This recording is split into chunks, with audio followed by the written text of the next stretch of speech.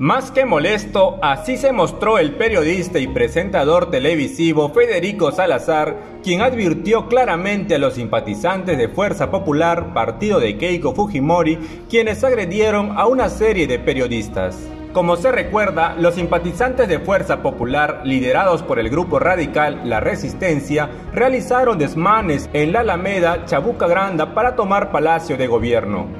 Además, los simpatizantes de Keiko Fujimori no solo agredieron a hombres y mujeres de prensa, también agredieron al ministro de Salud, Oscar Ugarte, mientras se dirigía a Palacio de Gobierno.